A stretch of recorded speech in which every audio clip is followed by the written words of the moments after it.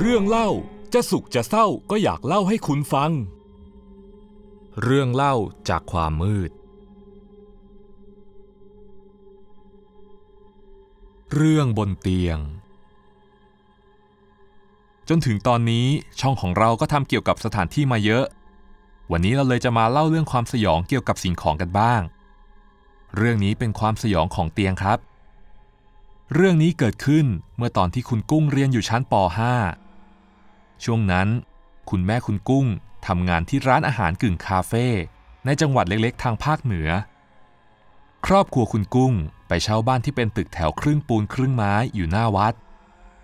ในบ้านค่อนข้างมืด มีกลิ่นอับ กลิ่นไม้เก่า พูดง่ายๆว่าหลอนตั้งแต่ก้าวเข้าไปเหยียบ บ้านเช่าหลังนี้เป็นบ้านเปล่าๆ ไม่มีเฟอร์นิเจอร์สักชิ้น คุณแม่คุณกุ้งเลยไปหาซื้อของใช้กัน พอขุนกุ้งก็ไปสะดุดตาเข้ากับเตียงหลังหนึ่ง เป็นเตียงไม้มือสองสภาพดี ดูสวย แต่คุณกุ้งกับคุณแม่กลับรู้สึกแปลกๆ แต่มันขายราคาถูกมาก แม่เลยไม่ขัดใจพ่อ วันนั้นเองในช่วงเย็น ทางร้านก็ขนเตียงมาส่งที่บ้าน ตอนที่รถมาส่งเตียง พนักงานก็ขนเตียงขึ้นมาที่ชั้นสอง แม่ก็ถามพนักงานว่า เจ๊มาด้วยหรอ พนักงานก็ทำหน้างงงๆ แล้วก็รีบขนของไม่พูดไม่จา รีบวางแล้วก็รีบไป นับตั้งแต่เตียงหลังนี้มาอยู่ที่บ้าน คุณกุ้งก็มีความรู้สึกแปลกๆ มันรู้สึกเย็นยเยือก และอึดอัดกว่าเดิม บนชั้นสองจะเปิดไม่ได้กั้นห้อง พ่อแม่คุณกุ้งนอนบนเตียง ส่วนคุณกุ้ง ปูฟูกนอนที่พื้นกับน้องชายอยู่ข้างเตียง คืนนั้นตอนทุกคนลงมากินข้าวกันข้างล่าง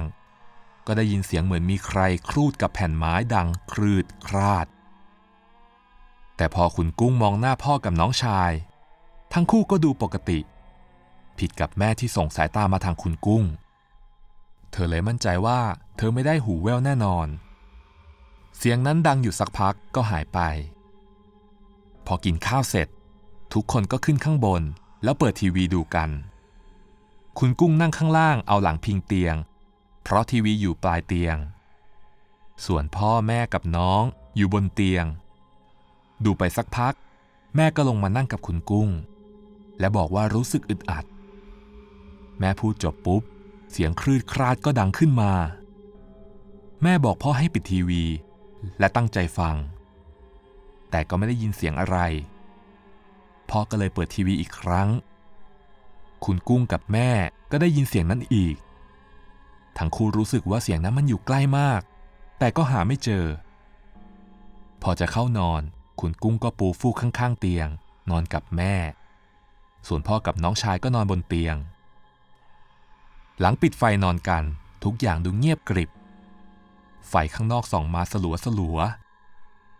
คุณกุ้งกำลังเคลิ้มๆอยู่ เสียงคลืดคราดก็ดังขึ้นอีก คุณกุ้งมั่นใจล้านเปอร์เซนต์ว่าต้นเสียงต้องอยู่ไม่ไกลจากเธอแน่นอน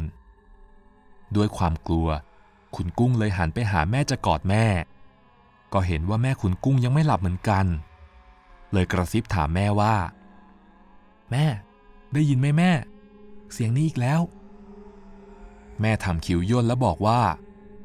อย่าทักสิลูกมันไม่ดี คุณกุ้งเลยข่มตานอน พร้อมกับพลิกตัวไปทางเตียง คุณกุ้งเห็นภาพภาพหนึ่ง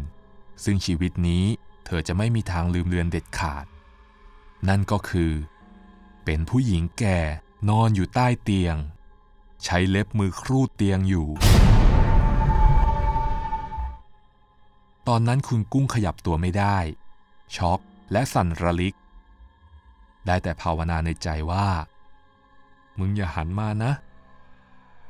แต่ดูเหมือนมันจะไม่เป็นผล ผีหญิงแก่ตนนั้น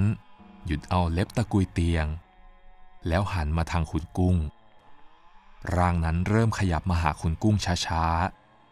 ๆ โดยใช้ไหล่กับหลังในการขยับตัวออกมาจากใต้เตียง คุณกุ้งรวบรวมพลังที่มีทั้งหมด จากนั้นก็ตะโกนเรียกแม่ออกมาสุดเสียง พ่อกับแม่คุณกุ้งตื่นขึ้น พ่อรีบลุกไปเปิดไฟ คุณกุ้งร้องไห้แบบจะเป็นจะตาย แม่กอดปอบคุณกุ้ง ส่วนพ่อกลับบอกว่าไร้สาระ คุณกุ้งคงจะดูหนังมากเกินไป สักพักก็นอนกันต่อ โดยคุณกุ้งเปลี่ยนที่นอนกับแม่ คุณกุ้งขอย้ายไปนอนฝั่งที่ไม่ติดเตียง พอหลับไปสักพัก แม่คุณกุ้งก็ร้องกรี๊ดขึ้นมา ตื่นกันทั้งบ้าน แม่ไม่พูดอะไร รีบอุ้มน้องออกจากเตียง แล้วบอกให้ลงไปนอนชั้นล่าง คุณกุ้งก็ตามลงไป ส่วนพ่อจะนอนข้างบนต่อ แล้วว่าคุณกุ้งกับแม่คิดไปเอง พอลงมาข้างล่าง แม่ก็เล่าว่า ตอนที่แม่นอนหันไปทางเตียง พอมันเริ่มชินกับความมืดก็เริ่มเห็นลางๆ แม่เห็นผู้หญิงแก่ๆ ตัวผอมแห้ง ผมกระเซิง นั่งคร่อมน้องอยู่ แล้วก็ทำท่าเหมือนเอาเล็บยาวๆครูดตัวน้อง พูดจบ แม่ก็ให้น้องเปิดเสื้อขึ้น คุณกุ้งกับแม่ก็เห็นว่ามีรอยแดง ๆ ที่ท้องจริง คุณกุ้งกับแม่ก็ได้แต่อึ้ง ทั้งสามนอนที่ชั้นล่างถึงประมาณตีสี่แล้วก็ได้ยินเสียงพ่อตะโกนดังลั่น คุณกุ้งกับแม่ก็รีบขึ้นไป เห็นพ่อเอามือบีบคอตัวเอง แม่ไม่รู้จะทำยังไง เลยถอดสร้อยพระคล้องคอให้พ่อ แล้วพ่อก็สงบลง จากนั้นก็พาลงมาชั้นล่าง พอพ่อเริ่มหายใจโล่งก็เล่าให้ฟังว่า พ่อนอนอยู่ดีๆ ก็รู้สึกว่ามีคนมานอนข้างๆ ทีแรกพ่อนึกว่าเป็นแม่ เลยหันมากอด ถามแม่ว่าลูกนอนข้างล่างกันเหรอ กอดไปสักพักก็ได้กลิ่นเหม็นๆ เลยลืมตามาดู ก็เห็นเป็นผู้หญิงแก่ๆ ตัวแห้งๆ ผมกระเซิง เป็นอย่างที่กุ้งบอกเลย พ่อตกใจเลยร้องออกมา รู้ตัวอีกทีตอนแม่กับกุ้งขึ้นมาเนี่ยแหละ คืนนั้นพวกเขาก็ไม่ได้นอนกันต่อเลย